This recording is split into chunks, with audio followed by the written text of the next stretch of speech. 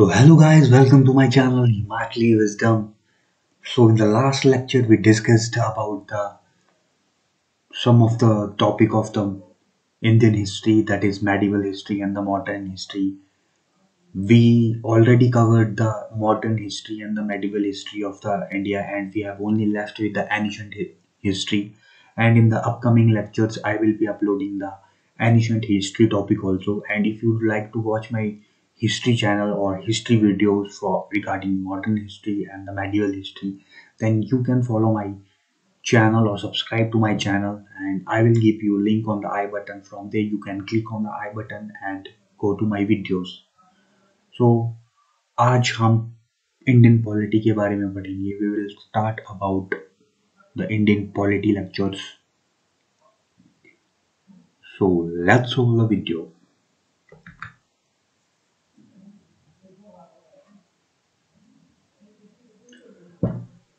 आज हम Indian polity के बारे में पढ़ेंगे। तो इंडियन किसी भी देश की जो पॉलिटी होती है, किसी भी देश का जो पॉलिटी स्ट्रक्चर होता है इंडियन पॉलिटी का या किसी भी देश का जो स्ट्रक्चर होता है, वो मेनली तीन हिस्सों में बटा हुआ होता है। Mainly legislative executive and judicial तीन एक तरह से आप बोल सकते हो कि ये तीन स्तंभ होते हैं किसी भी देश की गवर्नमेंट के लिए। इनफैक्ट इंडिया में तो यही तीन काम करते हैं और हमको जैसे पता है कि हमारी जो लेजिस्लेटिव और एग्जीक्यूटिव काउंसिल होती है, उसका अपना एक अलग से रोल होता है, जो कि पार्लियामेंट में होता है। एंड हमारे इंडिया में लोकसभा और राज्यसभा इन कार्यों को करने के लिए अग्रसर होती है। और जैसा कि हमने मॉडर्न हिस्ट्री के लास्ट लेक्चर्स में पढ़ा था किस तरह से गवर्नमेंट ऑफ़ इंडिया एक्ट 1935 जो है वो उसको इम्प्लीमेंट किया गया है हमारे कॉन्स्टिट्यूशन इंडियन कॉन्स्टिट्यूशन में।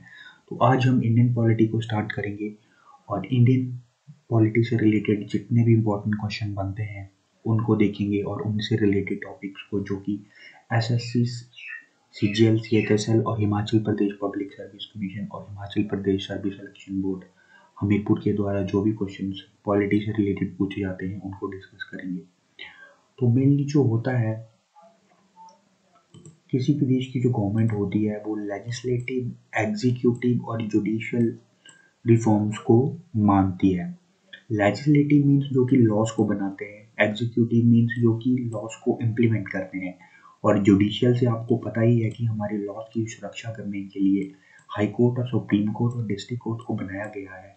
वो जुडिशियल के अंडर आता है। तो ये तीन ब्रांचेस को हम डिस्कस करेंगे पॉलिटी लेक्चर्स में और आगे देखते हैं।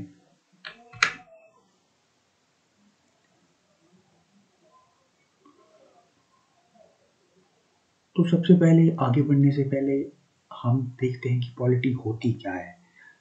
एक्चुअली पॉलिटी मीन्स कि हाउ कि कौन सा राज्य या जो कोई भी देश है, वो किस तरह से राज्य करता है, राज करता है रूल किया जाता है। उस रूल्स के जो प्रकार होते हैं, उस रूल्स को कैसे फॉलो किया जाएगा टाइप ऑफ़ गवर्नमेंट कैसी होगी, उसको पॉलिटी बोलते हैं। तो मेनली जो पॉलिटी होती है वो लेजिस्लेटिव रिप्रेजेंटेटिव एग्जीक्यूटिव पॉलिसीज़ और जुडिशियल जुडिशरी में डिफ्रेंशिएट की जाती है। लेजिस्लेटिव वो होते हैं जो कि कानून जो कि कानून को इम्प्लीमेंट करते हैं। They are they are the just a rule makers और जो उन कानून को लागू करते हैं एग्जीक्यूट करते हैं, उनको एग्जीक्यूटिव पॉलिसीज़ बोलते हैं या पॉलिसी मेकर्स बोलते हैं। और जुडिशियल तो हम सभी को पता है कि जितने भी लॉ से रिलेटेड कार्य होते हैं, वो जुडिशरी के अंदर आएँगे। और जैसा कि हमको पता है जो इंडिया है, हमारा जो भारत है, ये कई राज्यों का समूह है so it is the state of the union तो हमारे कॉन्स्टिट्यूशन में जो हमारा इंडियन पार्लियामेंट है, हमारा जो इंडियन गवर्नमेंट है इंडियन पार्लियामेंट है, वो कॉन्स्टिट्यूशन के अंडर में काम करता है। कॉन्स्टिट्यूशन क्या होता है? एक बहुत बड़ी सी बुक है कॉन्स्टिट्यूशन जिसमें जिसमें कि सेट ऑफ़ कुछ रूल्स दिए गए हैं कि किस तरह जो है वो यूनियन ऑफ़ द स्टेट को चलाया जाएगा, किसी देश को कैसे चलाया जाएगा। तो जो इंडियन कॉन्स्टिट्यूशन है हमारा, कई देशों के कानूनों को लेकर बना हुआ है, उनको मिलाकर हमने ये बनाया हुआ है। उसके बारे में हम नेक्स्ट वीडियोस में देखेंगे। फ़िलहाल के लिए आप try to remember the definition that constitution is the set of the rules that how any state of the union will rule और पॉलिटी जो होता है वो किस तरह से स्टेट रूल करेगा और उन रूल्स का जो कॉन्ग्रीगेशन होता है वो एक बुक में कंबाइंड किया हुआ है, उसको बोलते हैं कॉन्स्टिट्यूशन तो constitution is the set of the rules and how state will be ruled is defined by polity तो आगे बढ़ते हैं। जैसा कि हमने यहाँ पे देखा कि हमको लेजिस्लेटिव लेजिस्लेटिव के बारे में पढ़ना है एग्जीक्यूटिव के बारे में पढ़े, पढ़ना है जुडिशरी के बारे में पढ़ना है। आज के लेक्चर में हम लेजिस्लेटिव डिस्कस करेंगे, उसके बाद हम अगले लेक्चर्स में एग्जीक्यूटिव और इसी तरह जुडिशरी के बारे में डिस्कस करेंगे तो let's move to the legislative first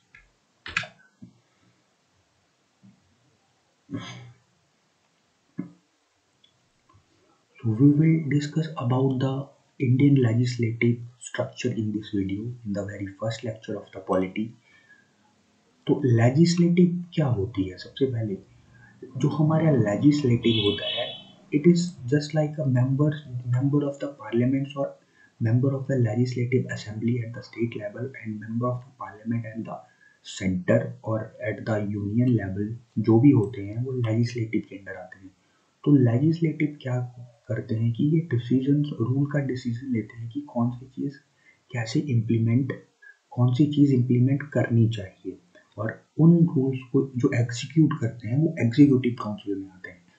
तो लेजिस्लेटिव के बारे में पढ़ेंगे हम एम और एम के बारे में। तो सबसे पहले देखते हैं कि लेजिस्लेटिव की डेफिनेशन क्या होती है। तो लेजिस्लेटिव जैसा कि हमने डिस्कस किया, ये लॉ मेकर्स होते हैं जो कि कानून को बनाते हैं। कानूनों को बनाते हैं। हमारे पार्लियामेंट के जितने भी मेंबर्स होते हैं, जो कि लोकसभा के मेंबर और जो राज्यसभा के मेंबर होते हैं they are called member of the parliament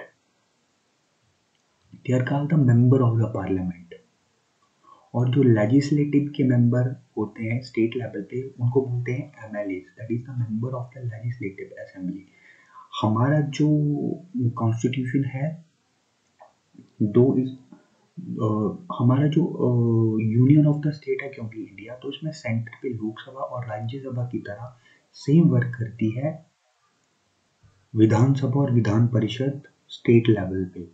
तो Lok Sabha and the Rajya Sabha at the union level equal to Vidhan Parishad and Vidhan Sabha at the state level. तो इंडिया जो है, हमारा एक डेमोक्रेटिक कंट्री है। Democratic means यहाँ पे जो इलेक्शन होता है लोकसभा के एम का, वो एक पब्लिक के द्वारा किया जाता है। सभी मिल के अडल्ट फ्रेंचाइजी के इलेक्शन के द्वारा लोकसभा के मेंबर ऑफ़ पार्लियामेंट को चूज़ किया जाता है। और हमारी जो गवर्नमेंट है इंडिया की, वो parliamentary form of the government है। पार्लियामेंट्री फॉर्म ऑफ़ गवर्नमेंट को समझने के लिए हम नेक्स्ट स्लाइड में देखेंगे। सो लेट्स मूव तो आगे बढ़ने से पहले हम देखते हैं कि गवर्नमेंट मेनली जो कितने प्रकार की होती है। So there will be two forms of the government इनमें से पहली फॉर्म होती है गवर्नमेंट की parliamentary form of the government जो parliamentary form of the government होती है, उसमें क्लोज रिलेशनशिप रहता है एग्जीक्यूटिव में और लेजिस्लेटिव में। लेजिस्लेटिव जैसा कि मैंने बताया they are the law maker और जो लॉ को एग्जीक्यूट करते हैं, उन, वो एग्जीक्यूटिव काउंसिल्स में आते हैं। तो parliamentary form of the government में एग्जीक्यूटिव और लेजिस्लेटिव में क्लोज रिलेशन होता है। मतलब कि लेजिस्लेटिव लॉ बनाएगी और एग्जीक्यूटिव काउंसिल उसको इम्प्लीमेंट करेगी। तो there should be a close relationship between these two in the parliamentary form of the government, जैसा कि हमारे भारत में है। तो हमारी जो गवर्नमेंट है, वो parliamentary form of the government है। और mainly parliamentary form of government में क्या होता है कि हेड ऑफ़ द स्टेट जो होता है, वो डिफरेंट होता है हेड ऑफ़ द गवर्नमेंट से।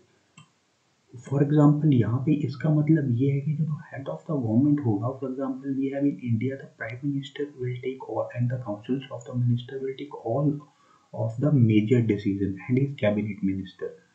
But जो प्रेसिडेंट होता है, जो कि mainly head of the state होता है according to the constitution of India वो एक सिर्फ़ नाम मात्र का ही पोजीशन होती है। सारी की सारी पावर वेस्ट होती है प्राइम मिनिस्टर्स को और काउंसिल्स ऑफ़ द मिनिस्टर को। और मेनली जो हेड ऑफ़ द स्टेट होता रहता है, वो प्रेसिडेंट रहता है। और जो प्रेसिडेंट होता है, उसका रोल सिर्फ़ सेरिमोनियल तक ही होता है और जितनी भी पावर्स होती हैं, वो प्राइम मिनिस्टर और काउंसिल्स ऑफ़ द मिनिस्टर्स और कैबिनेट मिनिस्टर के बीच में बढ़ी हुई होती है। तो आप बोल सकते हो कि जो जैसा प्रेसिडेंट एक तरह से किंग होता है हमारी यूनियन ऑफ़ द स्टेट्स का, लेकिन सारी पावर्स जो होती है मेन मेन वो प्राइम मिनिस्टर्स के पास हो के पास होती है। लेकिन प्रेसिडेंट्स के पास भी कुछ अपनी पावर्स होती है बट कंपैरेटिवली देखा जाए तो जो हेड ऑफ़ द गवर्नमेंट होता है is more powerful than the head of the state इसके बाद हम देखते हैं president presidential form of the government जो कि हमारे पास नहीं है। Presidential form of the government का सीधा एग्जांपल है USA United State of America for example वहाँ पे क्या होता है कि there is a separation between the power of the executive council and the legislative council वहाँ पे लॉ मेकर्स कोई और होते हैं और जो एग्जीक्यूटिव काउंसिल होती है, वो कोई और होते हैं। तो यहाँ पे क्लोज कोई भी रिलेशनशिप नहीं होता है। दोनों का जो वर्किंग क्राइटेरिया होता है डिफरेंट डिफरेंट होता है। Presidential form of the government में। वहाँ पे फॉर एग्जांपल अगर इंडिया इन दोनों को डिफ्रेंशिएट करने के लिए let me give you one example that अगर जैसे सेंटर में इंडियन इंडिया के पास क्या है कि अगर आप फॉर एग्जांपल हिमाचल से बिलोंग करते हो और हिमाचल से बिलोंग करने के बावजूद भी आप इंडिया की ही सिटीजनशिप रहते हो। आपको हिमाचल प्रदेश की सिटीजनशिप इस तरह से कोई नहीं बुलाता कि आप हिमाचल प्रदेश के सिटीजनशिप हो। आपको हिमाचल में रहते हुए भी यूनियन ऑफ़ द स्टेट का मेंबर रहना पड़ता है। और जो president form of the government होती है फॉर एग्जांपल अगर फॉर एग्जांपल न्यूयॉर्क है। न्यूयॉर्क यूएसए का एक सिटी है। तो न्यूयॉर्क का जो अगर कोई, अगर फॉर एग्जांपल मैं अगर न्यूयॉर्क में रहता हूँ तो मेरी सिटीजनशिप जो होगी, वो ज़रूरी नहीं है कि यूएसए के ही नाम से संबोधित की जाएगी। मुझे न्यूयॉर्क की सिटीजनशिप भी मिल सकती है rather than the citizenship of the USA तो यूएसए की सिटीजनशिप और न्यूयॉर्क की सिटीजनशिप दोनों डिफरेंट डिफरेंट सिटीजनशिप एक टाइम पे, एक देश पे कोई भी अडॉप्ट कर सकता है। लेकिन इंडिया में ऐसा नहीं हो सकता है। या ये, क्योंकि India union of the states है तो सभी राज्यों के लोग जो होंगे वो इंडिया के ही पार्ट होंगे। उनकी सिटीजनशिप जो होगी वो इंडिया की ही होगी। तो आई होप आपको इन दोनों चीज़ों के बीच में डिफरेंस समझ में आया होगा that what is the difference between the parliamentary form of the government and the presidential form of the government so let's move to the next one.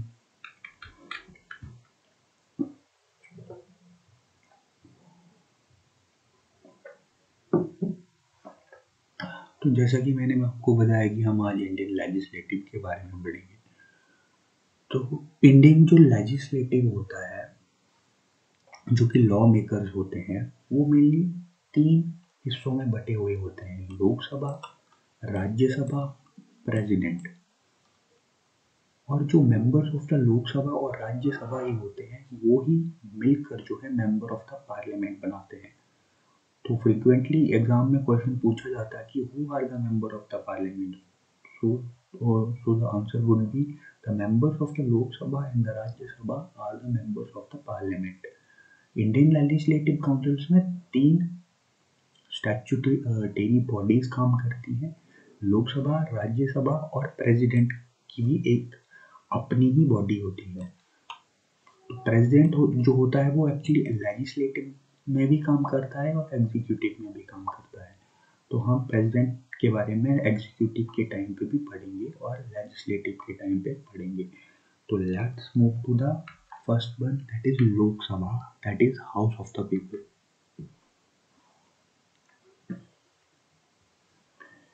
तो जैसा भी आप पिक्चर में देख सकते हो, ये is the picture of the Lok Sabha Indian Lok Sabha तो लोकसभा को हाउस ऑफ़ द पीपल भी बोलते हैं और इसको निचला सदन भी बोलते हैं पार्लियामेंट का लोअर हाउस तो लोकसभा जो होती है, जो लोकसभा के मेंबर्स जितने भी होते हैं, वो universal adult adult franchise election के द्वारा इलेक्ट किए जाते हैं. दैट इज़ 18 साल से ज़्यादा या 18 साल तक का कोई भी जो अडल्ट है, वो इलेक्शन में इनके पार्टिसिपेट करता है और एक डेमोक्रेटिक कंट्री होने के नाते इंडिया में जो है पीपल जो है मेंबर्स को इलेक्ट करते हैं फॉर द लोकसभा अब हम देखते हैं लोकसभा की सीट्स के बारे में। तो लोकसभा की मैक्सिमम सीट्स जो है according to the constitution of the India अभी तक 552 वेस्टेड हैं, जिसमें से जो 530 सीट्स हैं 530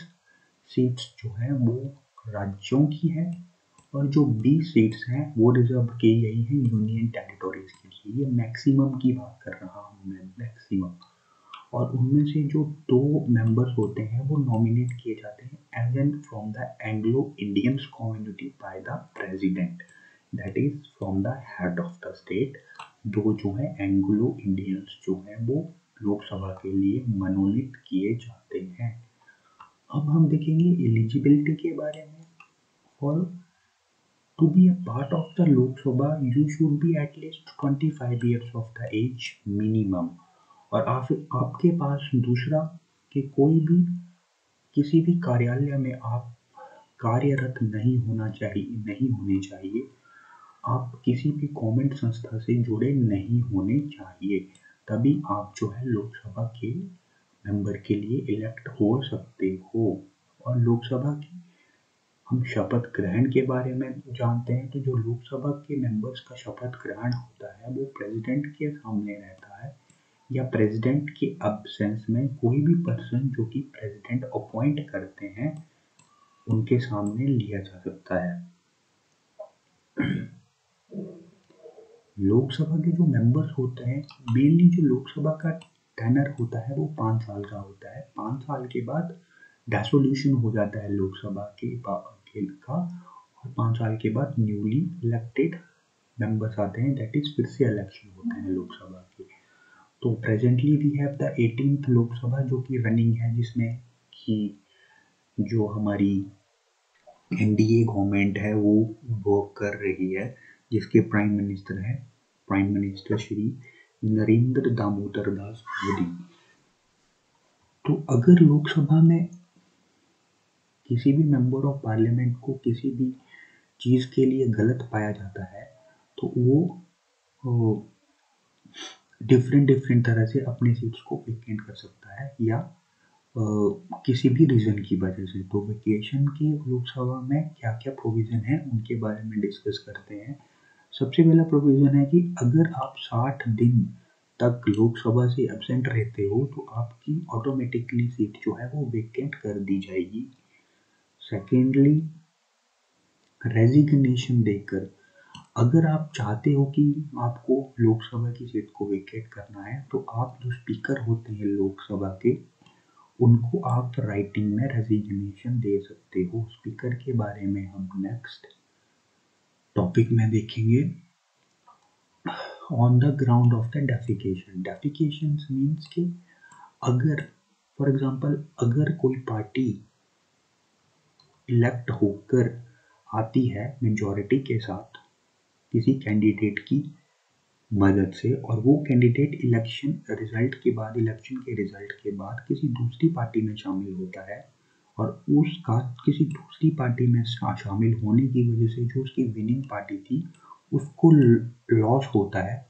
तो उस कैंडिडेट को डिफिकेशन के अंतर्गत जो है डिसक्वालीफाई कर दिया जाएगा उसके कैंडिडेचर को और वो लोकसभा का मेंबर नहीं रहेगा। तो ये रूल जो है, हमारे कॉन्स्टिट्यूशन में वेस्ट किया गया है। तो ये थे कुछ प्रोसीजर जिसके अकॉर्डिंग जो है वो लोकसभा के जो मेंबर्स होते हैं, अपनी सीट्स को वेकेंट कर सकते हैं। बहुत इम्पोर्टेंट और most of the frequently asked in the examination एक पॉइंट है कि जो मनी बिल होता है और जो फाइनेंशियल रिलेटेड बिल होते हैं, लोकसभा में ही इंट्रोड्यूस्ड किए जाते हैं और कहीं भी नहीं, लोकसभा जो है ही इन बिल्स पे मोहर लगा के आगे राज्यसभा को की अनुमति के लिए आगे भेजती है। राज्यसभा जो है, सिर्फ़ उन बिल्स को कुछ सजेशन देकर ही पास कर सकती है। वो उसको विड्रॉ नहीं कर सकती। तो लोकसभा के पास जो एक पावर होती है कि जितने भी मनी रिलेटेड बिल्स हैं, वो सिर्फ़ लोकसभा में ही पारित किए जाते हैं। तो let's move to the next one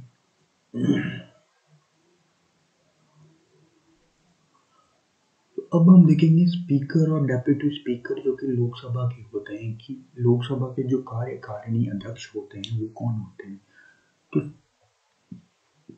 सबसे पहले हम देखेंगे कि स्पीकर ऑफ़ द लोकसभा। तो स्पीकर होता है लोकसभा का। उसका काम होता है कि लोकसभा के जितने भी सेशन होते हैं और मीटिंग्स होती हैं लोकसभा में मेंबर्स ऑफ़ द पार्लियामेंट्स की, उनकी मीटिंग मीटिंग्स को अरेंज करना और उनका, उनको प्रिसाइड करना। इसी तरह जो डेप्यूटी स्पीकर और डेप्यूटी स्पीकर होते हैं एक्चुअली ये दोनों जो हैं वो मेंबर ऑफ़ द पार्लियामेंट्स जो कि लोकसभा के होते हैं, उन्हीं में से इलेक्ट किए जाते हैं, उन्हीं के बीच में से। और अगर स्पीकर जो है लोकसभा का वो रिजाइन देना चाहता है तो वो राइटिंग में डेप्यूटी स्पीकर जो कि सेकंड मोस्ट पावरफुल पोस्ट होती है लोकसभा लोकसभा में आफ्टर द स्पीकर उनको राइटिंग में अपनी रेजिग्नेशन दे सकते हैं और सिमिलरली अगर डेप्यूटी स्पीकर रेजिग्नेशन देना चाहते हैं तो वो स्पीकर ऑफ़ द लोकसभा को जो है राइटिंग में अपनी रेजिग्नेशन दे सकते हैं। Right now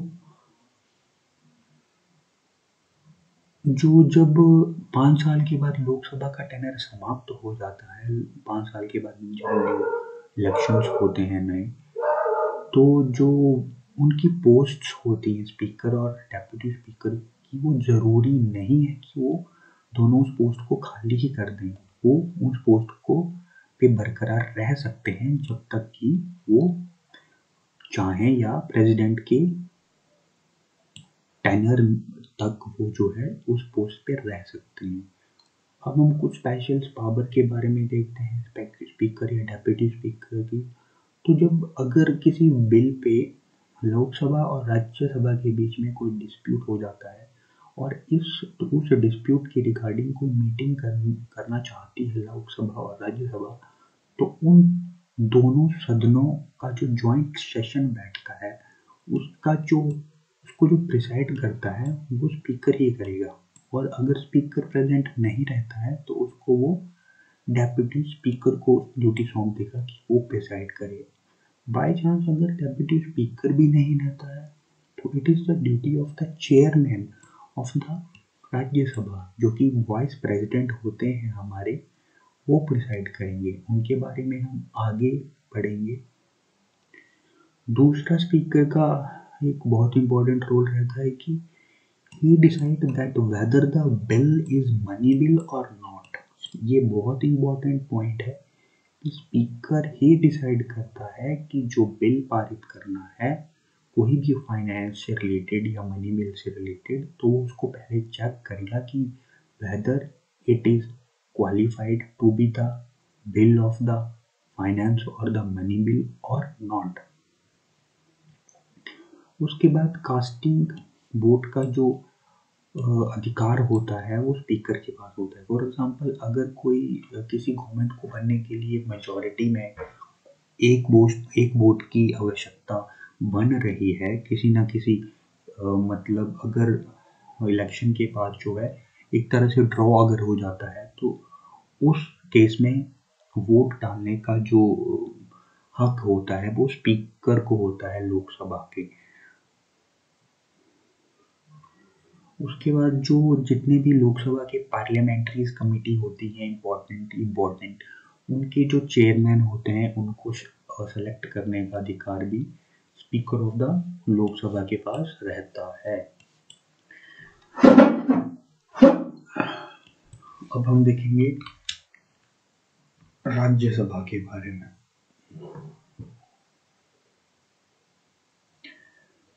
Now we will discuss about the Rajya Sabha. Rajya Sabha means the councils of the state or you can say that the upper house of the parliament or ऊपरी जो सदन होता है parliament का head in the picture you can see the blank Rajya Sabha of the Indian government यहाँ पे जो है वो चेयरमैन बैठे बैठते हैं हमारे वाइस प्रेसिडेंट जो होते हैं और जितने भी राज्यसभा के मेंबर्स होते हैं यहाँ बैठते हैं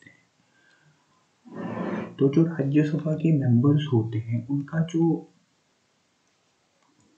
टेनर होता है, वो छः साल मतलब एक तरह से आप बोल सकते हो, सबसे पहला कि राज्यसभा जो होती है, वो परमानेंट हाउस होता है। लोकसभा में तो पाँच साल के बाद इलेक्शन होते हैं, लेकिन राज्यसभा जो होती है, एक तरह से परमानेंट हाउस होता है। बट इसके जो मेंबर्स होते हैं, जो कि मैक्सिमम नंबर्स में होते हैं टू फिफ्टी जिसमें के टू थर्टी एट जो होते हैं, वो स्टेट और यूटी से आते हैं उसमें से जो बारह होते हैं, वो नॉमिनेट किए जाते हैं प्रेसिडेंट के द्वारा एंग्लो इंडियंस के रूप में। जैसा कि लोकसभा में भी प्रेसिडेंट जो है, दो मेंबर को सिलेक्ट करते थे, यहाँ पे बारह मेंबर्स को सिलेक्ट करते हैं।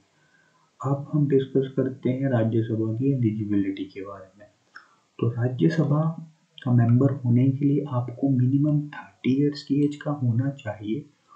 और जो सेम एलिजिबिलिटी है, बाकी लोकसभा की ही तरह है कि आपको किसी भी क्राइम में ऑफेंड नहीं रहना चाहिए, आपको कोई भी ऑफ़िस ऑफ़ प्रॉफिट नहीं होना चाहिए। उसके बाद जो ओथ होती है राज्यसभा के मेंबर्स को same just like Lok Sabha president और या फिर उनके द्वारा अपॉइंट कोई मेंबर किया जाता है, उसके, उनके सामने वो ओथ ले सकते हैं और उनका जो टैनर होता है राज्यसभा के मेंबर्स का, हालाँकि जो राज्यसभा होती है, वो परमानेंट हाउस होती है, लेकिन जितने भी मेंबर्स होते हैं राज्यसभा के, वो हर एक दो साल के बाद जो है रिप्लेस हो जाते हैं, या रिटायर्ड हो जाते हैं। कितने? जित, जैसे फॉर एग्जांपल अगर टू फिफ्टी जो स्ट्रेंथ है राज्यसभा की, उसका जो वन थर्ड हिस्सा होगा that one third part twenty one approximately seventy three या सेवेंटी फोर मेंबर जो होंगे वो। हर दो साल के बाद रिटायर्ड हो जाएँगे। उनकी जगह न्यू मेंबर्स आएँगे। वन थर्ड टोटल स्ट्रेंथ का राज्यसभा की। इसके बाद परमानेंट हाउस होता है। हमने डिस्कस कर लिया। और हाँ अब हम कुछ राज्यसभा की स्पेशल पावर के बारे में देखते हैं। Just like we have in the Lok Sabha for the money bill Rajya Sabha के पास एक स्पेशल पावर होती है creating all India services Rajya Sabha के पास पावर होती है कि ऑल इंडिया सर्विसेज़ को वो क्रिएट कर सकती है। फॉर एग्जांपल जो यूपीएससी से रिलेटेड कोई भी सर्विसेज़ में अगर कोई न्यू सर्विस ऐड करनी है एडमिनिस्ट्रेटिव सर्विसेज़ के रिगार्डिंग या फॉरेस्ट सर्विसेज़ के रिगार्डिंग या फॉरेन सर्विसेज़ के रिगार्डिंग तो उसको राज्यसभा जो है, हमारे कॉन्स्टिट्यूशन में ऐड कर सकती है।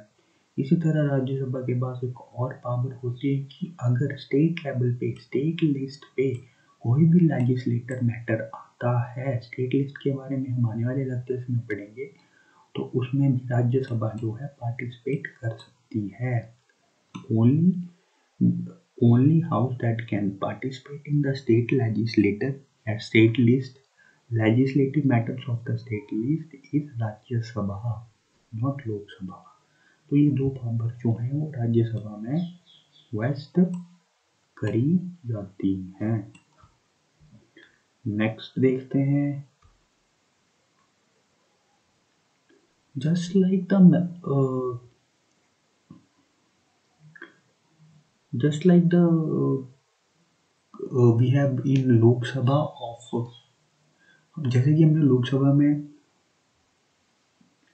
पढ़ा उनके हेड्स के बारे में तो इसी तरह राज्यसभा में भी जो होता है चेयरमैन और डेप्यूटी चेयरमैन होता है। जैसे कि हमने लोकसभा में स्पीकर और डेप्यूटी स्पीकर के बारे में पढ़ा, उसी तरह राज्यसभा में सेम रोल रहता है चेयरमैन और डेप्यूटी चेयरमैन का। But the only difference is that chairman जो होता है वो राज्यसभा का, वो हमारे वाइस प्रेसिडेंट होते हैं। तो vice president is the ex officio chairman of the Rajya Sabha. और उनका काम सेम रहता है, जैसे कि लोकसभा में था प्रिसाइड करना सेशन को, राज्यसभा की जितनी भी मीटिंग्स हैं, उनको प्रिसाइड करना और सेशन को प्रेजेंट करना in the case of Rajya Sabha. उनके एब्सेंस में वाइस प्रेसिडेंट के एब्सेंस में दैट इज़ जो हमारे चेयरमैन है, उनके एब्सेंस में जो डेप्यूटी चेयरमैन होता है, वो प्रोसीडिंग को कैरी आउट करता है आगे in the absence of the chairman of the Rajya Sabha और अगर डेप्यूटी चेयरमैन भी एब्सेंस होते हैं तो कोई भी नॉमिनेटेड मेंबर राज्यसभा के मेंबर्स के द्वारा, जो भी उनको अच्छा लगता है, वो प्रिसाइड करता है मीटिंग्स को राज्यसभा की। अब हम आगे बढ़ते हैं। प्रोटम स्पीकर के बारे में। तो प्रोटम स्पीकर जो होता है, वो बहुत इंपॉर्टेंट पर्सन होता है regarding the election regarding the election of the new Lok Sabha तो जब भी होता क्या है कि आफ्टर लोकसभा का जो टेनर खत्म हो जाता है, पाँच साल के बाद जो होता है तो न्यू इलेक्शन होते हैं। और जो प्रेसिडेंट के द्वारा एक व्यक्ति को अपॉइंट किया जाता है ताकि वो जितने भी लोकसभा के न्यू मेंबर्स हैं मेंबर्स ऑफ़ द पार्लियामेंट हैं, उनको जो है, उनकी जो शपथ ग्रहण समारोह को कंडक्ट करने के लिए उनको जो है, एक पर्सन अपॉइंट करना होता है, जो जिसे बोलते हैं प्रोटम स्पीकर जो कि लोकसभा न्यू इलेक्टेड लोकसभा की अपकमिंग प्रोसीडिंग्स को कंडक्ट करवाता है। तो his duty was to conduct the proceedings and the oath of the all the members of the Lok Sabha और जो स्पीकर होते हैं लोकसभा के और जो न्यू डेप्यूटी स्पीकर होते हैं लोकसभा के, उनको इलेक्ट करने की ज़िम्मेदारी भी प्रोटम स्पीकर की होती है। हालाँकि अगर प्रोटम स्पीकर जो अगर खुद भी चाहते हैं कि वो स्पीकर की पोस्ट पे आए या कि वो खुद स्पीकर बनना चाहते हैं लोकसभा के तो उनके स्थान पर प्रेसिडेंट जो है, किसी और को जो है ये ड्यूटी सौंपते हैं प्रेसिडिंग्स को करने की या फिर सारे मेंबर ऑफ़ पार्लियामेंट्स जो होते हैं, उनकी ओथ को कंडक्ट कराने के लिए जो है नया पर्सन अपॉइंट करते हैं in the place of the protem speaker So, this is all about the protem speaker.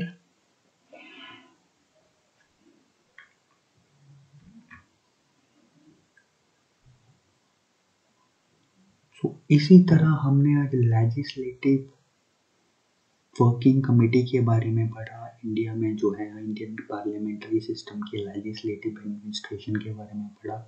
In the next video हम एग्जीक्यूटिव काउंसिल एग्जीक्यूटिव एग्जीक्यूटिव्स के बारे में पढ़ेंगे और उनके जो भी पार्ट होते हैं और जो प्रेसिडेंट का टॉपिक है, उनको हम एक ही वीडियो में लेक्चर करेंगे, जो कि इनफ होगा लेजिस्लेटिव और एग्जीक्यूटिव को एक्सप्लेन करने के लिए।